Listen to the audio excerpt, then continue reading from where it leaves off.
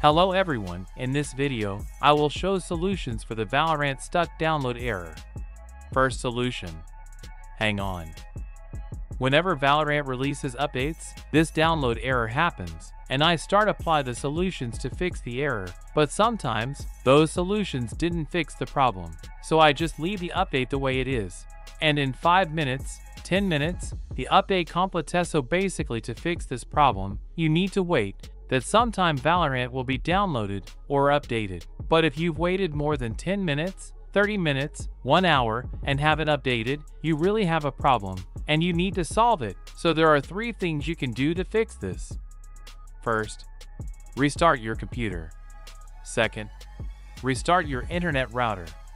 And third, uninstall Valorant and restart the installation. These three things will probably solve the problem. So that's it guys, thanks for watching, and until next time.